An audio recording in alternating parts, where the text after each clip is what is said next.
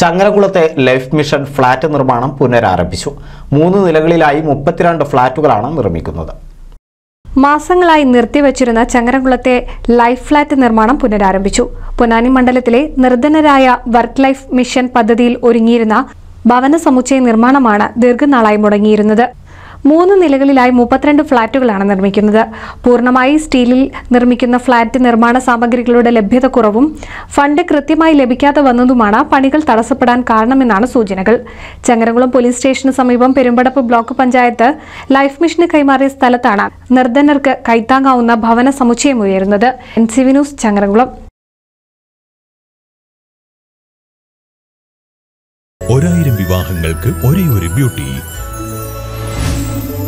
beauty silks Edappal Chavakkad Triprayar Puthanathani Perinthalmanna